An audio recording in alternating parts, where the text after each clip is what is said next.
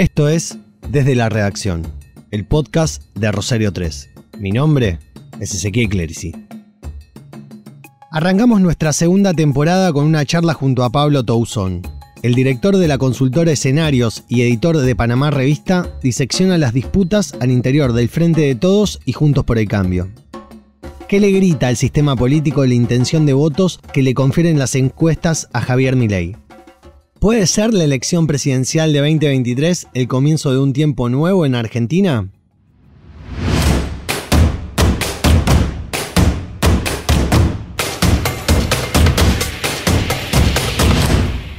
Pablo, ¿qué análisis haces del discurso de apertura de sesiones legislativas del presidente Alberto Fernández el miércoles último?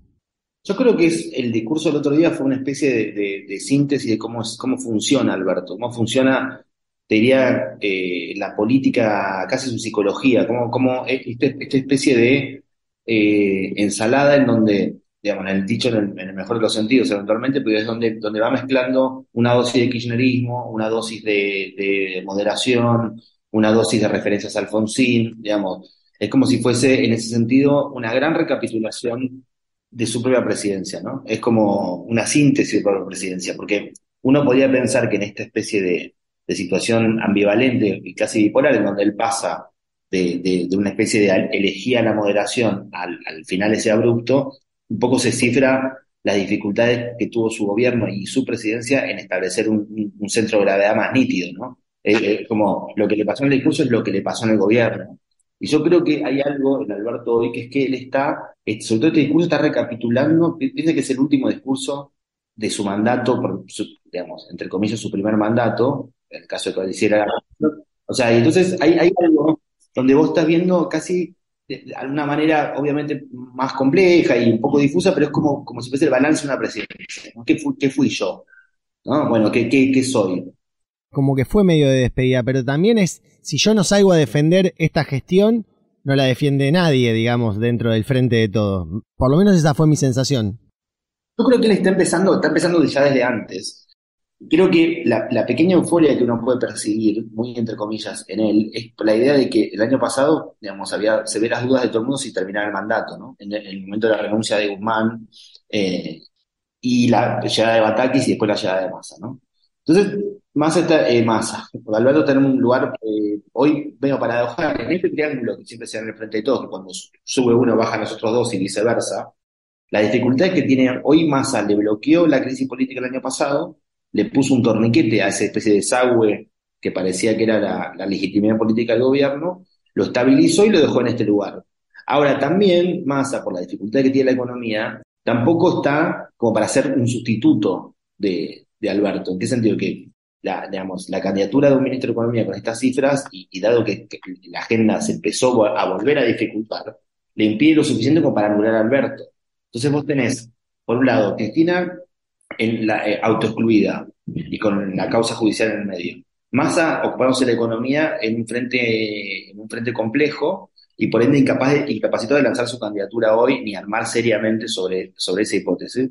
Y bueno, ¿quién sube Alberto? Entonces, es como, hay, obviamente que es un poco mezquino porque en el fondo aprovecha las debilidades ajenas para constituir una especie de mini nueva centralidad. Y yo creo que esa, esa parte, entre comillas, eufórica se da porque siente que llegó, siente que finalmente eh, la línea de llegada de una presidencia con todas las dificultades que hubo, con la pandemia, con, con cosas, con todas las dificultades frente de todo, más o menos se está empezando a cristalizar en que las pasos están a la vuelta de la esquina y que es posible construir un balance. Yo creo que vamos a ver un Alberto que cada vez más va a estar construyendo como quien, como quien ya se ve expresidente, como quien quiere hacer una especie de relato de qué es lo que sucedió, ¿no?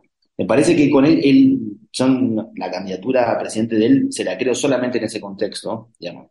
No creo que finalmente termine siendo, sobre todo porque se, se, parte no solo frente a todo, se parte todo el peronismo, en la hipótesis así, pero eso le mantiene a él seguir manteniendo la expectativa y seguir manteniendo esa capacidad de daño y, un poco de joder a los demás, que es, lo, que, lo que subyace ahí, ¿no? Y después el resto, incluso el hecho de que esté Cristina al lado sentada, y teniendo con todos sus gestos de desprecio, que sea presentada, y en un punto es una especie de triunfo pírrico de Alberto Fernández, eh, en, la suya, ¿no? Que, claramente no es la más funcional para la Argentina, pero que es, al final se estuvieron todos juntos y al final le sostuvieron un poco la vela a la presidencia. O sea, quiero decir, Massa está ahí, de, maestro mayor, de, digamos, está ahí como haciendo la faena sin poder lanzarse a la presidencia. Bueno, al final, Massa, que entró con todo, hoy está como más frenado, ¿no? Sí, eso es como un poco creer también, por ahí es exagerado esto que digo, pero es como ese rayo inmovilizador también que tiene Alberto, ¿no? Que aquel que entra en la gestión eh, claramente termina siendo obstruido por el presidente en esta lógica de que, bueno, eh, si yo no puedo hacer o no me permiten hacer, yo obstruyo. Le pasó a Mansur, por ejemplo. Sí, es como un asesino silencioso, ¿no?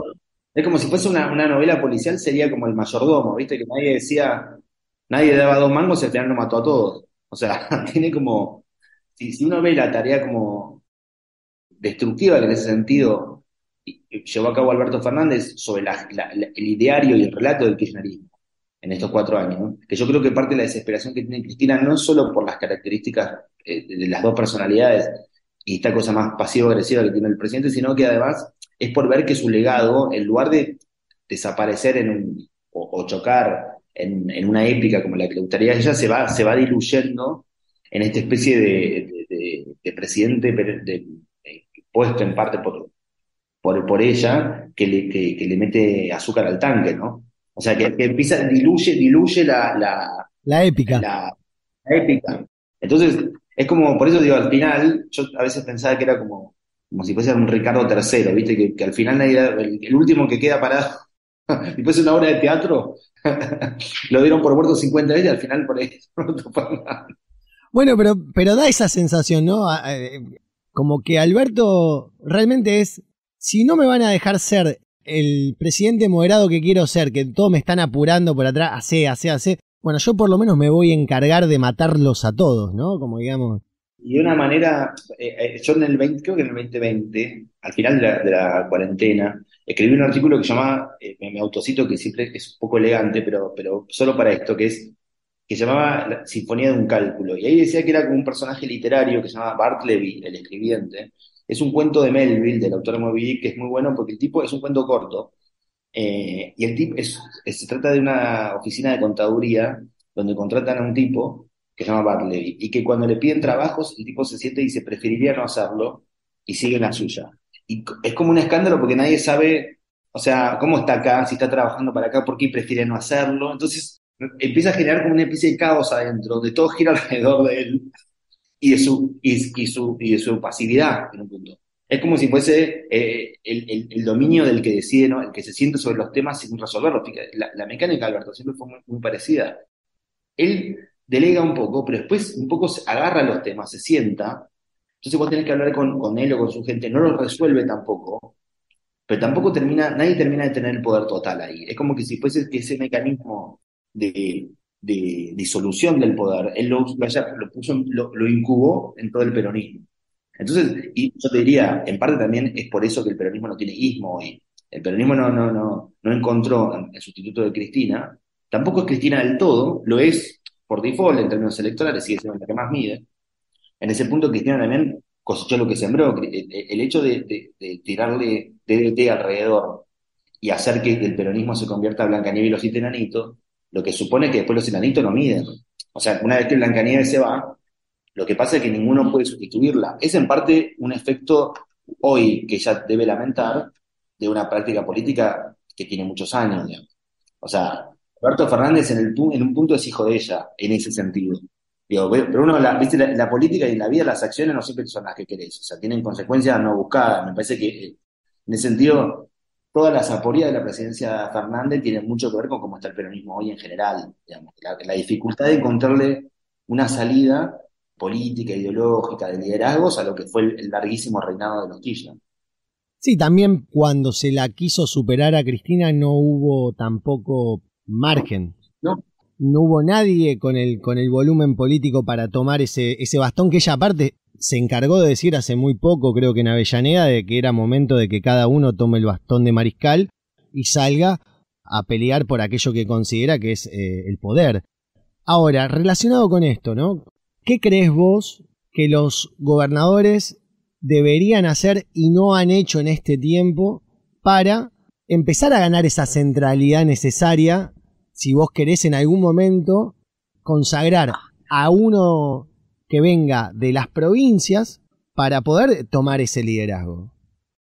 Mira, hay como una respuesta más estructural y una más, digamos, de la agencia, o lo que, en términos más prosaicos, de la, peso de las personalidades, ¿no? de los liderazgos. La parte estructural es que, sobre todo después del 2001, lo que se consolidó es una, es una gobernabilidad basada en la provincia de Buenos Aires.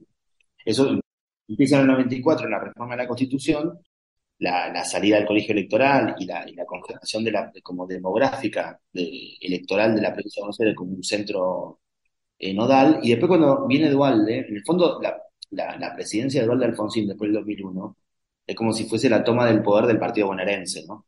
Alfonsín, Alfonsín el interior de la provincia, Dualde el conurbano.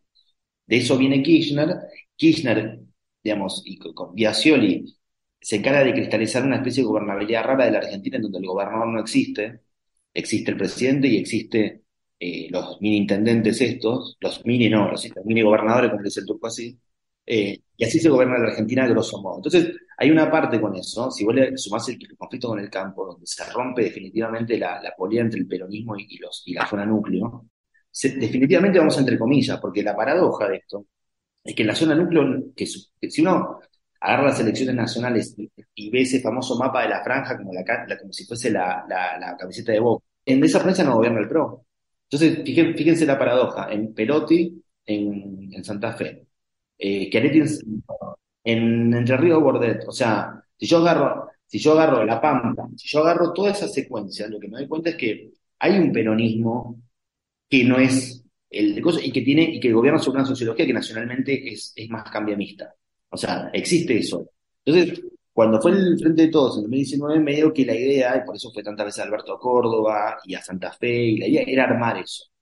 Ahora viene el peso de la personalidad. Yo creo que las condiciones estaban dadas para retomar ese vínculo. Casi que era la idea de decir, bueno, desandemos el camino del, 2008, volvamos a nacionalmente a, federar este peronismo zona núcleo, no, no, no sucedió. Yo creo que no sucedió en muchísima responsabilidad de Alberto Fernández, pero también en los, en los que lo siguieron, en sentido Perotti funcionó como una especie de mini Alberto, que también nos traía la promesa de una especie de esquiaretismo de santafesino para los peronistas que no pasó.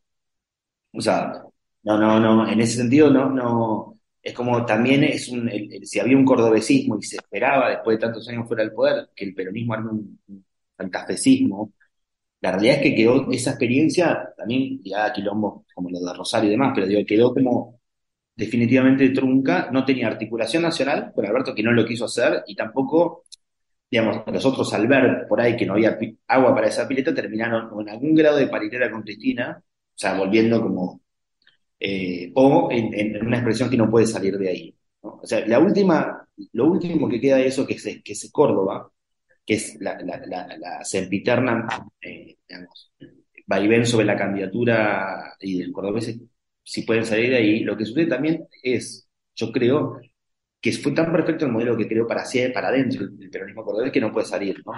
O sea, le es muy difícil salir y cada vez que espera que la zona núcleo se levante, porque en definitiva los aliados naturales, en términos de una sociología, son Santa Fe, Entre Ríos, La Pampa y el norte de la provincia de Buenos Aires. Yo tuviese que pensar cómo sería un peronismo distinto, cómo construir un peronismo distinto hoy, ¿no? Hoy yo creo que este round histórico no, no, no se llega, pero supongamos para adelante. Y es medio de ahí, porque si uno dice el núcleo del kirchnerismo fue el AMBA, ¿dónde está la otra sociología sobre la cual yo puedo construir algo que por lo menos es alternativo? Y está en el interior y está en las provincias más dinámicas, que además la gobiernan peronistas. ¿Por qué no pasa? ¿No? ¿Por qué no pasa? Porque no? En parte porque eh, tienen un problema ellos, que es la provincia de Buenos Aires, que no tienen nada. O sea, eh, es el problema que el Frente de Todo venía a resolver estratégicamente, que era juntar la provincia de Buenos Aires con eso. O sea, como no funcionó el frente de todo, tampoco funcionó eso. Y hoy te queda como, está 100% partido y hoy con mucho riesgo de que, de eso que se había ido manteniendo, que la idea de un voto cambiemista a nivel nacional, pero eh, distinto a nivel provincial, hoy puede fallar. Y hoy con el Frente Frente en Santa Fe o con, o, con lo o mismo con la candidatura competitiva del juez y de Loredo en Córdoba, de repente, a fuerza de no salir, les van a entrar tal vez, ¿no? Yo no digo que sea lo que va a pasar, pero digo, es, un riesgo cierto. Bueno, lo mismo va a pasar con el frente de frentes acá en Santa Fe. Bueno, de hecho, de hecho puede haber situaciones como insólitas, como que los socialistas terminen votando a Patricia Bullrich en el frente de frente. Digo, hay, hay, hay, la dinámica provincial, yo creo que muchos peronismos provinciales dijeron, bueno, nos alambramos y nos salimos frente al kirchnerismo, como en distintas épocas. Con el Frente de Todos se animaron a salir. O, Frente de Todos, a ver, al principio decía, ¿te acuerdas? Un presidente y 24 gobernadores, como la idea de que iba a ser federal, nada de eso pasó. Entonces les vino el reflejo condicionado, vieron que no había nada y volvieron para atrás. El problema es que ahora, y eso se ve mucho reflejado en, el dilema de Schiaretti y los cordobeses, es que tal vez si no salís, te entran, ¿no? O sea, que a, lo mejor es necesario hasta jugar una acción nacional para no perder el terruño. Por eso, cuando se hable sobre la candidatura de Alberto Fernández, por más que las elecciones estén separadas, que, cosa que favorecería a los peronismos provinciales, este estado de, crisis profunda del peronismo, yo creo que les va a empezar a afectar también en su terruño propio, ¿no? O sea, que van a, incluso, incluso poniendo un alambrado, hay una posibilidad de que, de que eso igual se quiebre, ¿no? Entonces, la no constitución de eso, que es el fondo del significado profundo del Frente de Todo, ¿qué es lo que no hizo el Frente de Todo? Y no reconcilió, no hizo lo que venía a hacer, que era reconciliar, en términos del peronismo, ¿eh? no de la Argentina ya, que era juntar todo eso otra. Entonces está partido y tampoco tiene expresión. Scioli, yo creo ahora, por ejemplo, Scioli viene, Scioli es como el candidato que aparece ahora, también, si no va Alberto voy que es como diciendo, bueno, soy el único que más o menos todos podrían coincidir, a sabiendas además que va a ser derrotado, entonces es como, bueno, necesitamos un candidato para que se presente esta elección, que, que querramos un poquito todos y que nadie le moleste tanto, obviamente con la notable excepción de Sergio Massa. ¿Ya crees que el, que el Frente de Todos no tiene ninguna chance de, de, ganar? Viste que hay como ciertas aritméticas que se hacen en cuanto a votación de que es hay que jugársela toda a la primera vuelta, o sea, tratar de subir un poquito arriba de los 40 puntos, que mi ley le llegue a los 20 y eso le saque un margen Juntos por En Cambio para tener esa diferencia de 10% y bueno, y, seguir gobernando. Porque ya se sabe que en segunda vuelta tal vez eh, esa aritmética ya no sea fácil de, resolver. ¿Vos lo ves sin posibilidad de, pelearla? No, a ver, pelearla pueden pelear. Lo que yo sí creo es Sí, el hemos definido, el definió que pierde. O sea, hay una parte donde uno de los actores uno de los actores que es ella dice perdemos. Entonces, si yo espero con una convicción, en cualquier orden de la vida, es, probable que pase. Quiero decir, ella no quiere la elección no porque esté por sino porque piensa que se pierde. Por otro lado, y no quiere sufrir una especie de balotaje al estilo Menem. Entonces, digamos, el primero está, ella, por otro lado, que ella no vaya, es un problema para todos, porque es la única, es muy notoria la diferencia entre ella y el resto de los liderados, muy notoria, en términos demográficos, la demografía electoral del mismo kirchnerismo. Con ley amenazando como tercera fuerza, de repente no pueden darse el lujo de meter un guado de Pedro, y, porque podían entrar a balotaje. Entonces, Cristina está como atenazada en, una, en, opciones estratégicas, todas no, no buenas para ella. Si va, si no va, si va para acá, si va para el costado. En ese punto, yo creo que la estrategia de preservación de la provincia de Buenos Aires, que es, dado visto y considerando las dificultades que pueden tener en, tener un gobernador propio y que no hay balotaje en la provincia, es una estrategia. O sea, podrían gobernar la provincia de Buenos Aires, hoy Kicillof gana ahí, ¿no? Entonces, me parece que ellos tienen medio el interés de replegarse de la, de la situación nacional, pero obviamente necesitan un candidato que no, que, no, que no sea catastrófico en la elección. Esa es la, esa es la dificultad. O sea, tal vez Cristina casi que debería jugar para retener la provincia de Buenos Aires. Es como la misma lógica que vos describís con el esquiaretismo eh, cordobés. Exactamente. Es jugar para preservar el terruño. Pero además, y ya siendo una cuestión más conceptual, pero no, no menos importante, cuando sale Guzmán del Ministerio de Economía y se produce esas dos semanas que viene Batakis, que Batakis es como si fuese, con, respeto por ella, pero es como si fuese un planta permanente del, peronismo, le metieron a alguien, lo que se vio es que el kirchnerismo no tiene, y, la llegada de masa, nada más y nada menos que masa, con lo que eso implica para la historia del kirchnerismo y su ideología, lo que vos te das cuenta es que no tiene respuesta económica y social el kirchnerismo en esta etapa, para lo nacional. O sea, no la tiene, no, no, básicamente la agenda que más, que se impone por los acuerdos con el fondo y por la realidad hiperinflacionaria, hiperinflacionaria en un sentido literal, que te quiero decir, por el, por el tema de la inflación y los temas que hay en la Argentina, es que la agenda no, puede ser resuelta en los, en los marcos de, la, de la doxa del kirchnerismo. Entonces, es como casi que le conviene no ganar en, este, en esta clave, digamos, porque sería esta situación. Entonces, yo creo que vos decís, el frente de todos no tiene chances. Eh, a ver, eh, es tanto el, contexto de volatilidad y quilombo que yo, como podría haber una mínima posibilidad de que en una especie de escenario hiperfragmentado de la oposición y demás tenga una chance. Pero para mí, yo tengo para mí pensar esto, que es que el peronismo cuando, cuando gana Cambiemos en 2015, tenía frente a sí un proceso de autocrítica, balance, cambio y demás, que debió haber sido más largo, que el colapso económico del gobierno macrista hizo que retorne antes al poder el peronismo, y que entonces vos lo que estás viendo es en vivo esa interna que no se resolvió, o esa especie de un cambio de giro que no se resolvió, pero en el Estado. Entonces yo no creo que nadie quiera seguir procrastinando eso en el Estado. Como le decían, bueno, chicos, vayan a boxes, fíjense, o sea, hay una... Pero hoy por hoy me parece que, como que, lo que, que reveló esta secuencia, que no se va a resolver en el poder. El, peronismo a veces tiene la ilusión, porque eso fue parte de que se resuelve con un nuevo liderazgo en el poder, pero no pasó. Como diciendo, hagamos un nuevo ismo y, pasamos para adelante. En ese cambio de pareja, sin, sin, sin, meses en el medio, ¿viste? Hago así un switch y sigo. Me parece que, en ese sentido eh, va a ser muy difícil para, el peronismo tener una candidatura, tener un proyecto nuevo en esto que, en este tiempo que falta. Pero bueno, qué sé yo, este, también pensemos esto, la sucesión del kirchnerismo tampoco funcionó. Lo único que funcionó en el sentido de Kisilov. Kisilov es la única referencia territorial y política y, de un liderazgo personal que sobrevivió. Pero después todo lo que es el intento camporista, no, ninguno mide. O sea, todo, y pensar que una, una inversión fuertísima del punto de vista político en ellos, ¿no?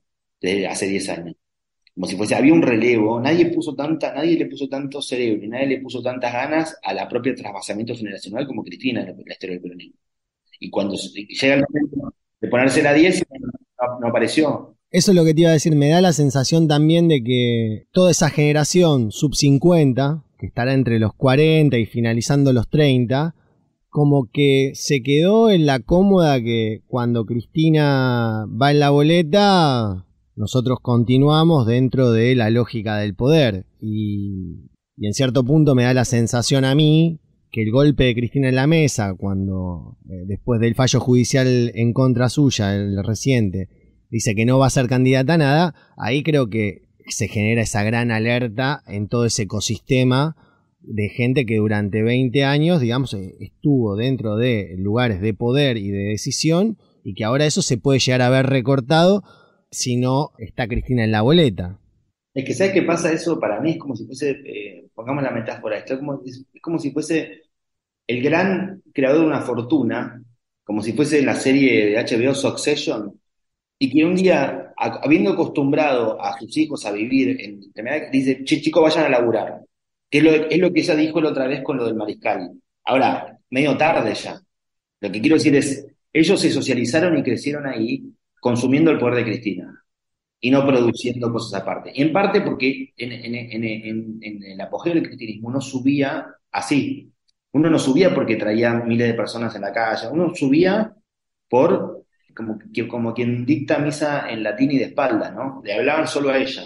Entonces, es medio paradójico que ahora ella quiera otra cosa, porque en definitiva ella produjo una especie de, carrera cuyo único, cuyo mérito funcionaba al revés. Entonces no le puedes pedir a alguien que creció de una manera que después, 10 años después, diga, bueno, listo, chicos, ya, ahora tienen que hacer política que no, bueno, pero demasiado tarde porque es una generación en ese sentido que se socializó en el poder, al revés de otras generaciones políticas de la Argentina o el peronismo, que tienen la llegada al poder después de una serie de combates, incluyendo la renovación peronista en esto, no solamente a los 70, cosas, sino incluyendo la renovación, a Menem y demás. Esta es una generación que ya entró como eh, entró como en el poder instantáneamente sin, sin porque digamos, esa generación que en parte es mi generación, eh, que estuvimos en el 2001 en la plaza y demás, algunos tenemos militancia social eh, antimenemista en aquellos últimos años 90, jóvenes, qué sé yo, pero la realidad es que lo que hizo el kirchnerismo en sentido fue abrir una puerta a, esa, a ese sector. Esto estoy hablando de las experiencias de Kicillof, de Guado, de, los más grandes de ahí, pero no lo construyeron ellos, ¿no? O sea, era un poder que ya existía y que, los incorporó.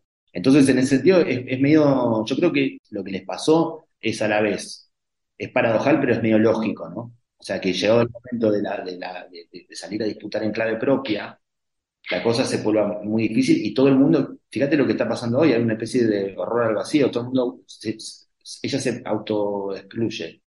Hay un vacío gigante y de repente todo el mundo le vuelve a pedir a ella. como, nada, no, no, no, no surgió. Lo único, incluso la candidatura de Pero bueno, es, por lo cual yo creo que hoy no, no, digamos, eh, eh, la, chance histórica de recuperar eso se hace después. yo no creo, ni siquiera creo que pueda haber una candidatura. El peronismo alternativo, el peronismo federal, disidente, llamarlo como quiera, tiene, tiene problemas peores, diría, hay análogos, pero también de la, la, la constitución de un, trillada la palabra, pero de un relato, de algo que no sea simplemente un macartismo contra el kirchnerismo. O sea, que, que sea como, como no diciendo, me robaste la bandera del verdadero peronismo, sino, bueno, ¿qué querés para adelante? Por eso que hay una parte que digo que es de, la voluntad. Porque vos, yo te puedo tirar 58 restricciones, la Constitución del 94, la política AMBA, la demografía, que yo, pero la verdad que Menem cuando en, los 80 era gobernador de una provincia que era tan periférica como lo soy. Néstor también. Y Néstor también. Y si hubiesen caído en el posibilismo, que yo creo que ese posibilismo tiene una raíz también de, lo que implicó el poder kirchnerista en su momento. Eh, fíjate la paradoja de la relación de los gobernadores con el, con el kirchnerismo. 2002, explota la Argentina. Viene, eh, primero viene un gobernador del interior, que es Rodríguez A., que todavía los puntanos y mucha gente en el norte sigue pensando que fue el último federal. O sea, viene el Q de Dualde y Alfonsino, o sea, viene el, partido bonaerense, y cuando llega Kirchner, es, eh, eh, casi que su mantra principal es construir la autoridad presidencial y evitar que le pase como a Rodríguez A la apagada de luz en Chapalmalal, ¿no? Entonces, básicamente se dedicó a, destruir el poder de los gobernadores. Y en ese momento era funcional para la Argentina eso, pero la Argentina se había convertido en una confederación de, de cuasimoneda, era como, como 58 Cataluña fallida metida por ahí. Eso estaba bien en ese proceso histórico. Yo creo que yo, a y lo banqué, una super concentración del poder presidencial porque, bueno, veníamos de la Rúa y, lo que implicaba cosas. Ahora es como que fuese que tan, tan, tanto éxito tuvo que no existen los gobernadores. Entonces, Hoy por hoy ellos deberían pelear esa situación. Yo, vos, tenés razón, tanto en la zona núcleo como si yo agarro, por ejemplo, entre Salta con Science y mezclo que, y la verdad que más o menos los recursos muchas veces pasan por peronistas, es, la paradoja. No pueden construir sobre ello. Yo creo que Schiaretti está tratando de hacer eso. también creo que es que, digamos, debió haber sido hecho antes, pero que está tratando de hacer eso. Un, vos que estás en, en, en Santa Fe, un aliado que él necesitaría, que hoy no, yo no sé si lo tiene, que va y viene y que, están como siempre flirteando en eso, es, el mismo Perotti, ¿no? Sí, pero Perotti está pensando exclusivamente en, sostener la, sí, su poca cuota de poder que ha logrado tener en, en, una Santa Fe que le ha resultado muy esquiva, en donde él, desde el principio de, de su gobernación, ha querido comerse el poder de los senadores departamentales, no ha podido, ha querido ganarle esa lucha también al narcotráfico y no ha podido. Entonces, creo que Perotti está haciendo lo, más lógico que puede hacer, que es tratar de ganar la diputación provincial que te permite llevarte la mayoría de diputados, vos tener esa carta para negociar con cualquier gobernador que venga, porque cualquier ley que quieras sacar va a tener que pasar por tu mayoría de diputados, y arréglense. Por eso vos me decís cuál sería la, si yo tuviese que hacer una, la apuesta que podría ser más interesante para un peronismo no kirchnerista en el futuro es, que, se, es que se preserve Córdoba, o sea, que, que gane y sobre ese, sobre, que digamos que alguien gane, o sea, primero, que gane, segundo, que sobre eso se constituya una especie de nuevo, nuevo núcleo, porque ya si, si uno piensa, ¿quién va? Si no, ¿quién, supongámoslo hoy, ¿no? Uno diría, una candidatura de que podría ser muy difícil desde el punto de vista de competitivo a nivel electoral real, pero lo que sí podría hacer es plantar un mojón ayudar a ganar a Yayori y plantear un mojón de una discusión distinta entre el peronismo para futuro. Y que los diputados que estén con eso, digamos, tuviesen como una, una, una, cara más hacia el futuro que hacia el pasado. ¿Qué pasa si no, si no Córdoba no relige? Que solo y, elige Kisilov. Que solo va a quedar, el único poder peronista que va a existir va a ser el de kirchnerismo. Mermado, un queso grullar, pero es el del kirchnerismo. Entonces, es casi, te diría, el final en ese sentido para el peronismo como, como el final. Nunca hay final, digamos, los radicales han vuelto. O sea, no, digo, pero, pero digo, pero es, es, es, es poco para, digamos, sobre todo para los peronistas, ¿verdad? Es empezar el largo camino por el desierto que hizo durante 20 años eh, la UCR, que le permitió, digamos, toda esta renovación de cuadros de 40 años, digamos, más o menos, que están hoy disputando. Sí, así es. Justo con lo que hablábamos de los gobernadores, vuelvo de nuevo al discurso presidencial de la apertura de sesiones y termina siendo como que el único que quiere es Alberto, ¿no? ¿Viste? digo, está bien, después veremos si no se baja eh, al final de la cuando estemos llegando ya al tramo final de la carrera, pero él es el que demuestra todo el tiempo que el que quiere. Claro, porque además estamos, viste, que en el 2002 todos, todos los periodistas que sean presidentes. Se armaba la Asamblea Legislativa y cabeceaban todos, el primero que cabeció fue Rodríguez ahí quedó. Ahora es al revés, es como una especie de concurso para no serlo. Es como diciendo, aparta de mí este cáliz, ¿viste? Entonces, está, están todos como, como en un juego de la, de, la, silla que no quieren que pare la música, a ver si, porque, a ver si quedaste en la silla. Es como funciona al revés. Si no quiere ser candidato a presidente, eh, está la candidatura de Guado, que me parece más que todo para posicionarse en una especie de nuevo esquema peronismo, pero no con visos de realidad. Scioli, que es como un candidato casi que uno lo contrata, diciendo, bueno, necesitamos un candidato, y que ante la ante, digamos, con poco que perder, se manda. Massa, que sería como el más serio de lo que podría haber sido un candidato, está en un gran signo de interrogación. Porque esa es la, cosa. Entonces, con eso, con, toda esa cristalización, bueno, el que, el que queda es Alberto, efectivamente. Es como el único que, y que, dice, colores. Y que dice quiero, abiertamente. Dice quiero, sí. Después te quería consultar, antes de meternos ya directamente en, la oposición, que, ¿qué te pareció ese tramo final del discurso de Alberto frente a la Corte Suprema de Justicia, pero sobre todo a la justicia federal? Ya, hace una corta, una larga y una corta. La, larga es del 2013, que más o menos cuando empieza la guerra del kirchnerismo con, con el, con el partido judicial, llamémosle así, que es eh, con, las causas de Vudú, la echada de Rigui y demás, hasta acá, el proyecto de democratización de la justicia, eh, la ruta del dinero acá después, lo que uno ve es, se, cumplen casi 10 años de esa guerra, una guerra en la cual debe ser de las más fallidas del, kirchnerismo, eh, incluso más que la que tuvo contra Clarín, porque, porque al final, digamos, el, el balance de esto de esta especie de procrastinación permanente, de, es, que, eh, digamos, es que siempre que igual, al final termina ganando de alguna y otra manera el Partido Judicial. o sea, es, así, es como si ya está el resultado puesto. Si todos pasan, la Corte queda. Sí, tiene que apuntar al desgaste de un gobierno de salida. Lo que yo, yo lo que por eso, a ver, digo, tiene que apuntar al desgaste de un gobierno de salida, que saben todos de salida. Digamos, eh, la otra vez estaba en la, en la televisión, me habían invitado y estaba una diputada de Juntos, ¿no? Oliveto.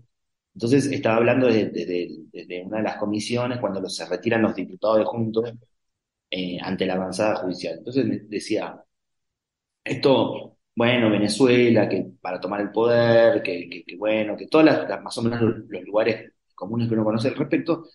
Y yo cuando me tocó intervenir, lo que le dije es, si no pudo el kirchnerismo con el 54%, con el bien, todo el viento a favor, con la economía muchísimo más ordenada, no pudo hacer eso. Imagínate el último año al frente de todo Alberto Fernández. Es una expresión de simplemente impotencia.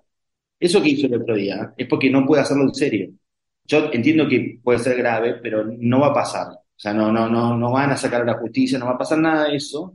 Entonces es como quien actúa porque no lo puede resolver, que es una cosa que hace mucho Alberto Fernández. Le tiene un centro del kirchnerismo, se, se llena de fraseología revolucionaria porque no va a hacer nada. Ellos saben eso ahora ya. cada, cada punto, de, hecho, la reforma judicial era una parte de la agenda de Alberto.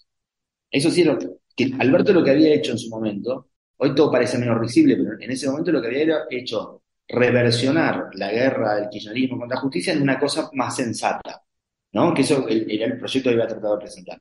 E, entre hacía ese voto con el kirchnerismo que le parecía soft, que no sé qué, que fue, que, impidió también que eso, que eso se ejecute, y después las distintas actitudes de la Corte con relación a esto, al final lo que pasó es que quedó en la nada. Entonces, ¿qué creo que va a pasar con eso? Nada. O sea, creo que va a quedar eh, igual que siempre, probablemente el, poder, todas las reformas, ponerle, supongamos que por decreto, todo eso se va a reversionar en, o se va a reestructurar en, meses, en un año electoral. O sea, me parece que sobre todo pirotecnia eh, electoral, y en el caso de Alberto en el discurso, es, la, parte que le toca, como si fuese, bueno, me toca el kirchnerismo ahora. Entonces, sale por ahí, que sabe que es un poco la... eso, en, y en su momento fue, fue Clarín, que ya está más, más abandonado esa, pero también es lo mismo. Pero me parece que, y si uno ve en perspectiva histórica, es tremendo. Digamos, es, es una guerra que no tuvo ningún resultado. El kirchnerismo plantea, Pasa que parecería a veces que se contentan con plantear el escenario y no ganarlo, como diciendo, yo planteo este debate hace 10 años, 10 años, que sigue, y, y, todavía no encuentro una resolución. O sea, en ese momento todavía no tenía causas Cristina cuando empezó. Ahora, si encima le agregás la misma situación judicial de Cristina, te produce una situación del todo irresoluble. Bueno, pero ahí me parece, no sé si compartís, pero como que se termina dando, es como una cuestión muy caprichosa en, ciertos temas del kirchnerismo. Acostumbrado a una forma de ejercer el poder que obviamente lo, lo logró hacer, que era no tener que negociar con nadie para hacer aquello que quería hacer. Creo que cuando se encuentra con ese con esa piedra, en vez de volver a la política, esto de generar consensos, es denunciar todo el tiempo, gritar todo el tiempo de que no hacen lo que yo digo, digamos. Si quieren avanzar la reforma judicial, es como si pues, supongamos esto, es una, es una metáfora un poco eh, extrema, pero supongamos que el partido judicial es el partido militar, ¿no? Bueno, ¿cómo hizo la política para matar el partido militar? Se juntó contra eso. O sea, supongamos que uno dice, acá hay un problema del sotogobierno, como dice Pañi, que va entre los servicios de inteligencia, el juzgado federal, eh, sectores de narcotráfico, lo que quieras, la, corrupción, los poderes enquistados. Bueno, en un punto lo que necesita para ir contra, contra esa corporación no, es, no se puede hacer en el marco de una extrema polarización. Esa, esa es la parte donde no, no existe eso. O sea, o bien hacen algún tipo de acuerdo, que es lo que decías vos, para avanzar sobre esa agenda, o bien el Partido Judicial crece con la polarización. Fíjate que la judicialización extrema de la política, ¿qué hace? Le, hace, que cualquier juez, hoy cualquier juez federal tenga 58 causas de la política. O sea, están alimentando el monstruo que quieren combatir. Al final, eh, eh, me acuerdo de Alberto Fernández en otro de estos discursos de la apertura de sesión que el tipo agarró dijo, al mismo tiempo, que decía que quería hacer la reforma judicial, decía vamos a, judicializar el tema de la deuda externa de Macri. Bueno, ¿qué más querés? Al final, ¿dónde termina eso? ¿La corte o no? O sea, vos les está diciendo a, a, lo que vos querés, suponés, denunciás como un poder enquistado y con, aspectos sumamente corporativos, que, es verdad, les das todos los temas de la Argentina. Eso es lo que la, la grita tiene una fase judicial. Por eso hoy en cualquier programa de televisión hay un tipo que se dedica a las causas porque no, no, porque son una especie de jeringosa incomprensible que solo es el típico lenguaje, como diría ley de la casta, donde están hablando, no, en la, Cámara de Casación entró, y entonces está, vos estás siguiendo ese tema como si fuese, tenés, tenés que traer un especialista, ¿viste? Como, como en el siglo XX que había especialistas en temas militares, acá hay especialistas en temas judiciales que además encima le quita atención, yo te lo digo viviendo en Rosario, con el problema que tenemos en, particular con narcotráfico, que ese propio Poder Judicial se encargue de resolver, eh, o, intente al menos, la cuestión de violencia narcocriminal que atraviesa, en este caso, una ciudad como Rosario. Digo, debes, tenés que tener más inconvenientes a nivel nacional pero todo se concentra ahí y no se está observando un fenómeno que está generando un dolor social y una, desintegración eh, comunitaria enorme en una ciudad de las principales de la Argentina. Absolutamente, absolutamente. Vos ves, como si fuese la disociación más clara de la política con la gente, está en, uno podría agarrar exactamente tu ejemplo. Es decir, por un lado está toda esta agenda de la corrupción, que en el fondo es la agenda de, la, es la agenda de la cata, pues la agenda de la, corrupción política, con nombres eh, rimbombantes, que Lofer, que no sé, pero, pero, el principio es eso, eh, para un lado y para el otro, porque el problema es la joda del Estado militante, que después milita para otro. Digamos, si uno quiso armar eh, como si fuese el, el, problema de la justicia popular, que después es, se, exactamente se da vuelta. Ese es el problema que tiene el Estado argentino con eso. Ahora, es una agenda que a nadie le importa nada, porque es una agenda de los tipos que pasaban por la función pública en cargos elevados, tuvieron firma sobre muchísimos temas. Bárbaro. Ahora, el tema Rosario, que para mí es, un poco el agujero negro de esta Argentina polarizada, porque finalmente, eh, como la solución del tema Rosario claramente escapa a la provincia y implica de alguna manera el poder nacional, lo, que estamos viendo en esta especie de circo de los temas propios de la política y que no tienen que ver con esto es que es, la disociación más grande. Probablemente debería ser unos temas top 3 de la, de la agenda argentina hoy, ni siquiera de la agenda de, las provincias. Recién empieza, hoy que pasó, estamos hablando que pasó esto lo de, lo de, de la mujer de Messi, simbólicamente como diciendo, ah, bueno, ni siquiera, o sea, el símbolo hoy argentino más más apreciado zafa de, esta crisis. Y bueno, está claro que la solución debería ser de algún tipo nacional. Es increíble la, inflación de los temas de, la élite política que no, que, donde esto no entra, o entra a regañamiento, va a terminar entrando, yo creo, va a terminar entrando, pero muchísimo más tarde de lo que debió. Con un costo en vidas y en, y en disgregación y en destrucción del tejido social muchísimo más grave. Ahora, Pablo, estamos hablando de esto de que la política, digamos, se mira a sí misma y demás. ¿Qué está pasando o qué lees vos que está pasando en ese universo de Juntos por el Cambio que también da la sensación que se están hablando entre ellos y la sociedad los está mirando de costado preguntándose un poco de qué, de qué están hablando, ¿no? Yo creo que si uno ve, si uno ve la foto de las dos coaliciones, las ve tan parecidas en algunos aspectos que como una foto de pareciera una especie de frente de todos dos, lo que la, mecánica interna que preanuncia la coalición de Juntos. Sin embargo, yo creo que tiene una diferencia que es medida en encuestas también, en términos las marcas, Juntos frente de todos, que es una es una discusión por el despoder y otra es una discusión más por el poder. O sea, quiero decir, la sensación que da, por lo menos que tienen los actores de Juntos, es que de alguna manera, de alguna manera, llamémosle así, no necesariamente como con ese marco como Juntos, pero que alguno de ellos va a ser el mismo poder. ¿no? Entonces, es, un, es una interna que tiene características de igual desorden, de, muchas veces de igual alineación con relación a la, agenda popular, pero que, pero que resulta como más, eh, en un poco más procedente porque lo que parece es que es un poder que se está como armando. ¿En qué sentido? Que, supongamos esto, uno ve en, algunas provincias, ¿no? Yo veo que sube mi ley, mi ley bajó y vuelve a subir, pero que la marca Juntos no cayó. Ergo, Milei está robando votos al peronismo. Milei le está caminando un poco la sociología al peronismo. Entonces, incluso pensémoslo en los sectores más halcones, a mí no me gusta la terminología, pero los más halcones de, Juntos, que entienden que, inclusive por H o por B, incluso con los libertarios en una especie de alianza eh, explícita o implícita, van a estar como en el nuevo, en lo que se cocina como el nuevo poder. Entonces, eso es, si, si, querés, es la diferencia entre los dos, que se parecen, pero uno está como yendo y otro está llegando. Entonces, ahora, todo ese escenario que para mí repite al otoño o el invierno del liderazgo de Cristina, que desordena todo un sistema que se armó en función de ella, es como si fuese que los planetas empiezan a chocar, no tiene centro de gravedad la política argentina, no tiene centro. O sea, ¿dónde queda? No, no, no, no, no está el poder en Argentina, que es un poco la pregunta. Es una pregunta general que se establece también en las coaliciones. ¿Dónde está el poder en Argentina? Uno iría por defecto y porque su dirigencia así lo, así lo validó en Cumelén pero queda en Cumelén porque los de Juntos dijeron que queda en. O sea, hay una, situación muy interesante que pasó Juntos. Juntos, Rodríguez Larreta gana la elección del AMBA, el 21, la gana. A partir de ahí, yo creo que se asumió cierta inevitabilidad de su candidatura o su, de su futura presidencia, lo que hizo que es como en el texto se juntaron contra él.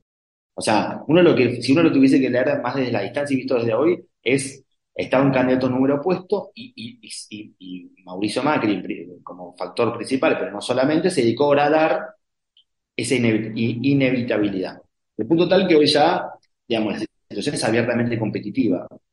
Macri funciona en el sentido parece análogamente a Cristina, una especie de liderazgo que no se puede superar, pero sin el cual no se puede construir. Yo se lo he escuchado a, gente de Juntos explícita, del PRO, explícitamente es, con, con, sin Mauricio no se puede, con Mauricio no alcanza, o sea, la misma frase que, en el caso de Cristina con el peronismo.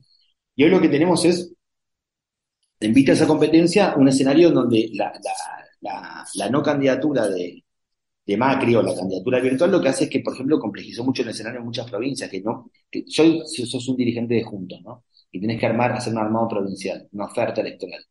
Y querés decir, pasame con el teléfono, de, pasame con la dirección de Juntos, ¿quién atiende? ¿Quién es? Entonces, la interna que tomó vida propia, como en el caso del Frente de Todo, que ya se independizó de sus autores, se empezó a cristalizar en, profundos desaguisados de, que en provincias que, por ahí juntos pierde, que podría ganar por esto. O sea, no es, no es menor el tema que tienen. O sea, el hecho de que la perspectiva de poder sea más cercana que la, que la del peronismo, no, no quita que la procrastinación de esta interna permanente esté haciendo que muchas realidades federales y demás se les sea más compleja simplemente por, por esto, ¿no? Por otro lado, anudando como, dos, como lo que parecerían ser proyectos diferenciados, es interesante ver de qué están debatiendo. Están debatiendo poder. Su liderazgo personal. poder o algún tipo de agenda. Yo creo que si uno tuviese imaginariamente que construir las coaliciones de verdad de la Argentina, uno diría, en un punto están Milei, Patricia Bullrich y Macri, ¿verdad? Con una sociología más ligada a, podríamos ser centros, centros también rurales, también urbanos, pero también rurales, eh, una, economía política del poder más ligada tal vez al, agro, al mercado libre, al PERI, para llamarlo así. Después vos por otro lado tenés un, cuadrante central donde están Rodríguez Larreta, Massa, Lustó y Morales, digámoslo así, como la Argentina del medio, que es como que es malo, malo y bueno la Argentina del, medio, con agendas medio parecidas también lo que le pasa muchas veces a, a, a, Horacio Rodríguez Larreta es que un poco la llegada de Massa lo perjudicó porque adelantó lo que podría haber sido una parte de su gobierno, o sea, en términos de las alianzas políticas, de lo que es la economía política eh, que sostiene eso, que va tal de Tierra del Fuego hasta los actores de lo que otrora fuera la burguesía nacional, ¿no? O parte de eso. Y después el kirchnerismo, eh, que el kirchnerismo no hace, en ese sentido no hace pie en ninguna cosa, porque no está ni en los medios, ni en lo judicial, ni tampoco en la, economía exactamente, pero tiene su demografía en el tercer cono urbano, todavía fuerte, y esa plaza, que juntos no puede ocupar. Entonces, medio se parte así. Entonces, por eso en ese sentido tiene, tiene, tiene sentido que Manes hable con Macri, porque Manes se siente perjudicado del cuadrante central, ¿no? Entonces, lo que quiere es hablar con el otro. Entonces, lo que estamos viendo hoy es, hay una disputa todos dicen coincidir en que la, solución gradualista, visto y considerando lo que pasó en el gobierno de Macri, no va más. Primero todo Macri piensa eso. Entonces la discusión sería sobre el procedimiento de hacer eso realidad. El de Rodríguez Larreta plantea una solución que él llama el 70% de construcción de una nueva mayoría, como diciendo esto no se puede hacer en total soledad, y eh, Patricia Bullrich y Macri parecerían apuntar a un gobierno más de convencidos, en donde lo único que hay que hacer es apretar fast forward. Yo creo que ellos creen, en el fondo lo que están viendo es a los libertarios. Está diciendo, yo también tengo mi 70%, pero va para, esto.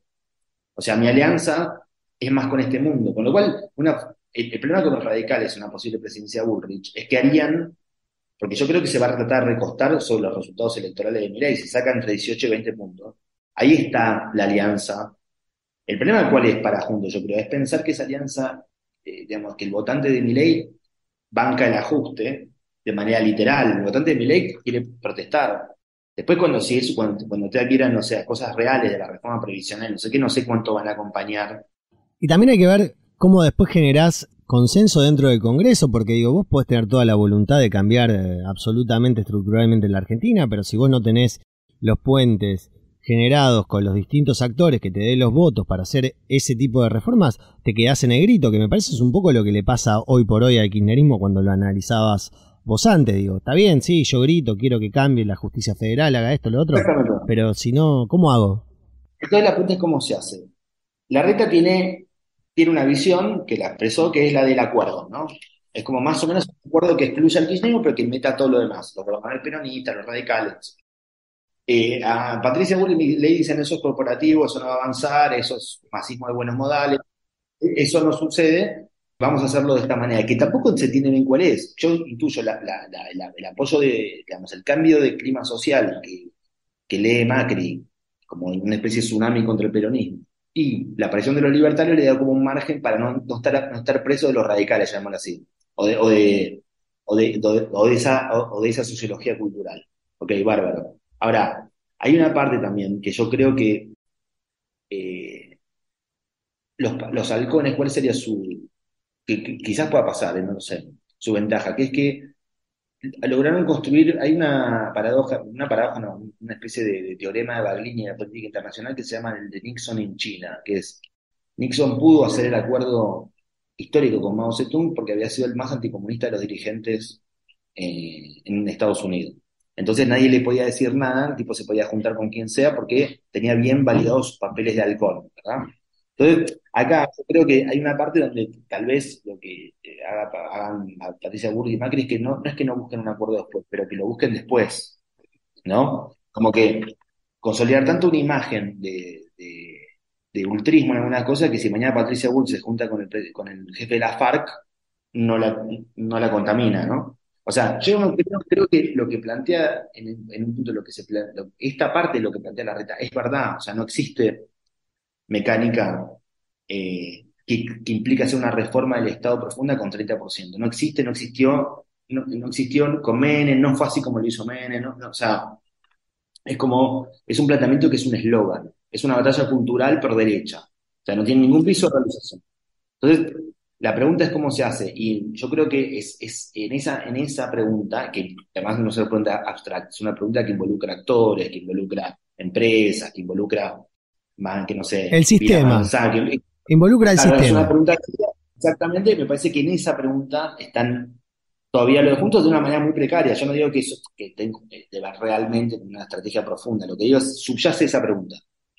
Entonces esa pregunta y es la que un poco está, está metido todo el sistema, eh, y donde el kirchnerismo en ese sentido queda un poco más afuera. Yo creo que kirchnerismo por eso apunta a ser la provincia de Buenos Aires, porque es entrar en la discusión del poder en Argentina desde, desde este lugar, como diciendo, bueno, no será lo más dinámico, pero vos la provincia de Buenos Aires tenés alta capacidad de chantaje, porque vos dejás de pagar sueldos y se joden todo el mundo, no solamente la, provincia. O sea, digo, vos eh, estando sentado sobre el pobrería argentino, no solamente está ahí, ¿no? Pero te quiero decir, sobre el conurbano, y conservás una cuota eh, de poder importante, incluso con un Estado en, déficit fiscal permanente como la provincia de Buenos Aires. ¿Qué pasa con eso? Juntos no tiene una estrategia, fíjate dónde se revela el- la manta corta de Juntos, que es en la provincia de Buenos Aires donde no tiene una estrategia para qué hacer con eso. No solo, Macri y, y, y Mal y Patricia Bullrich también, o sea, quiero decir, depende de los lugares, pero digamos que en el tercer cordón mide mal, o sea, todavía mide mal, o menos que, que Horacio, la, la- Horacio Rodríguez Larreta, su, lugar principal es, tipo, no, es, es, es el AMPA hoy. Si uno tuviese que georreferenciar dónde queda la fuerza de la candidatura de Larreta es ahí, ¿no? Que es el lugar más antimacrista. Por ende, esto te lleva como si fuese una confrontación sobre esos dos modelos y esos ejes. Yo creo que eh, el narrativo intentó evitarla, pero creo que es, es un poco inevitable, ¿no? Porque ya, ya cede finalmente como la, la voluntad de los dirigentes. Ya es como si fuese, viste que en política el electorado también abre, habla, como diciendo, en los que le gusta a Burke no le gusta la rete y, y viceversa. O sea, Vos sabés que justo por eso que, que estabas comentando, digo, ¿no habrá influido también el resultado de la interna en La Pampa para moderar el, el, el discurso de la reta que venía como tratando de alconizarse y cuando hace un lanzamiento es un lanzamiento antigrieta y después lo que le está pasando ahora en Mendoza? así es. Sí, creo que sí. Creo que, creo que la, estrategia, a ver, Yo creo que estas coaliciones muchas veces están armadas para que siempre triunfen, terminen determinando sus sectores más, más halcónicos. O sea, creo que están armadas así. Por eso es, como entrar a jugar con, un- gol abajo. Por la dinámica misma que tienen esas estructuras. Como no se animan a romperlas, eh, y no hablan solamente del mundo de culto, sino también del mundo del peronismo. No se animan a hacer otra cosa.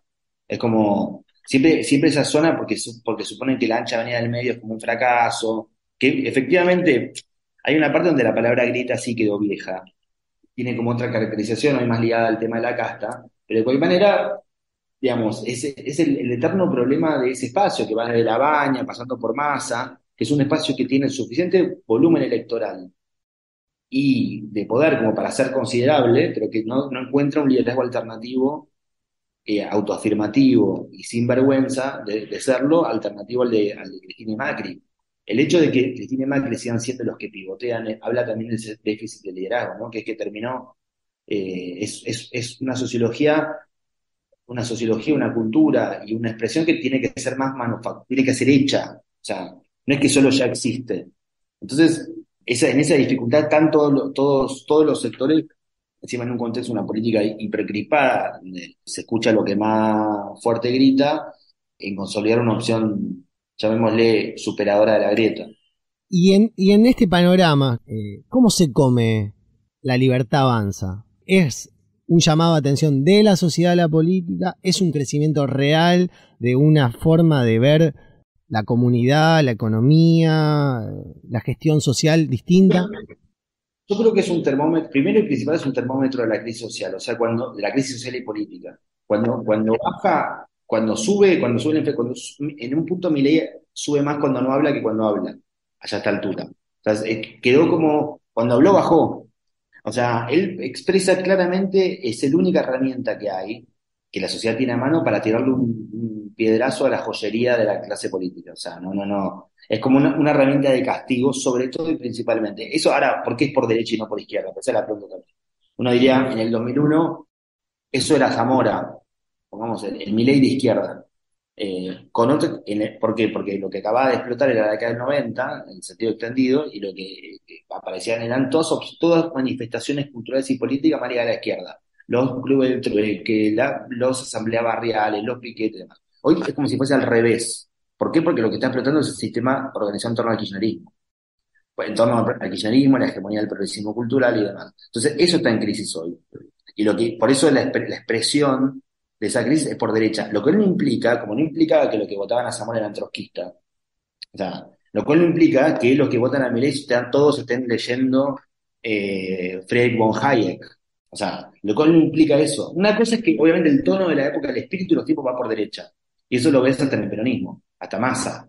Es decir, hay una crisis total de lo que fue ese paradigma eh, en términos gubernamentales, pero también sociales del kirchnerismo. Eh, está, está muy en crisis, lo ves hasta en Chita, hasta en la serie de Netflix con División Palermo, o sea, quiero decir, ya se toma más a la chacota todo lo que, lo que va, variantes, muchas expresiones de eso. Le agrega Milei dos cosas, la parte más trampista, que es un poco de mezclar como liberalismo económico con, conservadurismo de valores y, discurso más hater, sobre eso y, más expresivo que eso, redes sociales, todo lo que ya sabemos más o menos de la, de la hipermodernidad de lo que Ahora, también hay, una cosa, ese espacio está, yo tal vez, incluso si fuese otro dirigente que no sea Milei, tal vez incluso sería más. Yo creo que a Milei le cuesta pasar de la fase, que es muy difícil para los candidatos antisistema, que es pasar de la fase eh, como si fuese outsider a candidatura en serio. El tipo se mantiene, rebota entre 15 y 20 puntos, pero si la verdad que tal vez otro que no sea él o él mejor asesorado, por ahí podría superar los 20. ¿eh?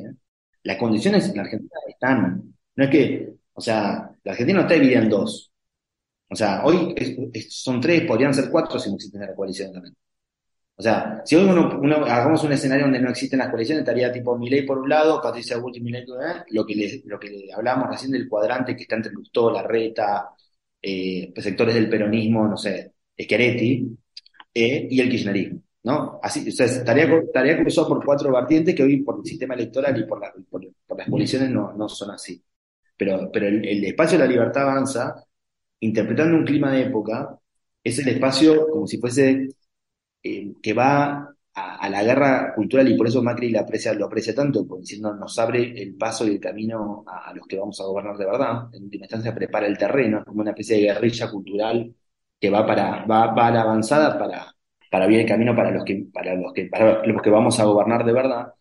Sobre, por ejemplo, el Estado, ¿no? Vos decís, el, libertarianismo nace sobre todo, se desarrolla después de la cuarentena, no es nada menos. Jóvenes de entre 18 y 25 años cerrados 8 meses, escuchando una publicidad estatal que habla de que el Estado te salva y que sale con la conclusión opuesta, ¿no? Como parecería ser que el mundo libertario hoy expresa un hastío en el sentido de, decir, bueno, si el Estado por lo menos, si no me pudo salvar, al menos que no me rompa las pelotas, ¿no? Que se corra. Eso es eso, más allá de la expresión de Cristina electoral. Eso va contra el fondo, el hardware del kirchnerismo, y te diría del peronismo, que es la idea del Estado como el mejor asignador de recursos y demás. Cuando uno ve la sociología de los libertarios, que no es cheta como la del PRO, un punto. O sea, es distinto, es como lo que, lo que en Estados Unidos llamarían white trash, ¿no? Pero es, mucho, mucho, mucho emprendedor pobre, o sea, mucho de, esta nueva sociología que no tiene exactamente que ver con la que fue la, la del PRO, que en algunos puntos es complementaria y en otras no, pero que lo que tiene en común es especie de rechazo al ideario del kirchnerismo. Entonces, eh, eh, diríamos que lo más dinámico que produce hoy la política, lo más novedoso que es esto, lo que también te, habla es de un fin de ciclo más largo, muy largo, probablemente el ciclo más largo de la historia democrática argentina, que es el kirchnerismo, 20 años. O sea, si uno lo toma, incluso, asumiendo que Macri forma parte de ese clivaje, es realmente 2003-23, ¿no? Estamos en 20 años. Entonces, eh, el 25 de mayo se cumplen 20 años la llave de, de Kirchner de poder. Entonces, eso, eso es sobre todo la expresión. Son hijos de la frustración macrista también, como diciendo, hijos del, hijo, como si fuesen los hijos que protestan contra el gradualismo, contra el obamismo, como Eso es la parte más antiperonista de los libertarios. Y después hay una parte del peronismo decepcionado. Hay, hay una encuesta que, vi también donde habla que hay una especie de, hay mucha gente que si no va a Cristina vota a Milei. Fíjate. ¿Le ves una salida a este intríngulis que estás describiendo que permita visorar, digamos, un tiempo nuevo? ¿Una síntesis nueva que dé otro nuevo ciclo o no lo ves? ¿O pensás que vamos a seguir en esto mucho más tiempo? Yo no, sé si, no lo veo que pueda llegar, que esa síntesis pueda llegar de manera competitiva, a las pasos. Creo que ya no hay tiempo. Creo que eso se, debe, se debería dar en el nuevo poder y para eso tiene que haber un liderazgo. Uno puede plantear los problemas en términos ideológicos de agenda de izquierda-derecha, lo puede plantear, que yo creo que es el mandato principal del próximo presidente, que es restaurar la autoridad presidencial otra vez, que haya poder la de Rivadavia, que es la paradoja del kirchnerismo, que empieza, como hablábamos antes, llegando a construir el poder presidencial y lo deja, lo deja en terapia intensiva. Entonces, mientras no haya eso, no, se ordena nada, porque el, Estado tiene la cadena de mandos rota, eh, es, un, es una cosa, un queso gruyere tupacamarizado, y sin, una especie de vertical del poder, del liderazgo, que me parece en ese sentido más relevante que, que, la, que la izquierda-derecha. ¿Por qué? Porque yo asumo que porque las restricciones del fondo y demás, hay cosas que son medio de cajón, hay agendas que ya vienen puestas en ese sentido. En cambio, lo que no hay hoy, y que no hay, que no hay, es esta pregunta de dónde está el poder, dónde está, la, dónde está el liderazgo, y por eso si vos te fijas en juntos, la estrategia de, por ejemplo, Patricia Bullrich es hacer un casting de liderazgos, porque lo que supone es que el principal problema es volver a reconstruir el kilómetro cero sobre el cual organizar esto, ¿no? Como diciendo, supongamos una nueva coalición, ¿sobre qué se arma? ¿En, torno a qué rota? ¿no? Porque si no es una especie de frente de todos dos, es una larguísima mesa de, gente que se odia. Entonces, para mí el, el, mantra principal es eso. Ahora, vos me decís, ¿quién sería eso? O sea, no, no, yo no lo sé. Pero me parece que la elección del 23, a lo sumo, lo que puede ser es, es como si fuese a ver quién empieza a convocar para, o para, para organizarlo de otra manera. Si no, es simplemente que se va a seguir procrastinando esto. O sea, si mañana llega un gobierno cuya única voluntad es una especie de voluntarismo extremo, batalla cultural y grieta, va a, va a pasar lo mismo que pasa con estos. O sea, si uno intenta siempre no va a salir igual. A lo mejor es un mojón la elección del 23, cosas para empezar a pensar en los liderazgos que convoquen eso. A lo mejor es gente insólita, no sé. A lo mejor, digamos, eh, no, no, conozco su pensamiento interno, pero por ahí hasta, digamos, el mismo Macri convocaría, no sé, un Schiaretti si, si fuese presidente. ¿no? no lo sé. Lo que digo es que claramente hay una, para cortar el, mecanismo, además ya no van a tener el subsidio de Cristina, porque Cristina también le funciona como subsidio. Sí, ya, no, ya eso ya no va a funcionar como si fuese un espantajo para galvanizar una mayoría artificial. Entonces, yo lo que sí creo es que no hay una solución de fondo en el 23. Eso es, eh, digamos, es el comienzo. Es una especie de, bueno, el comienzo de algo en el mejor de los casos. Pero no, no, no, no, no porque no está planteado así, creo que eso más o menos lo sabe, la gente lo sabe eso. Pablo Tausón, gracias. Gracias a vos. Producción y realización, Ezequiel Clerici. Desde la redacción, es una creación de Rosario 3, Grupo Televisión Litoral. Gracias por tu atención.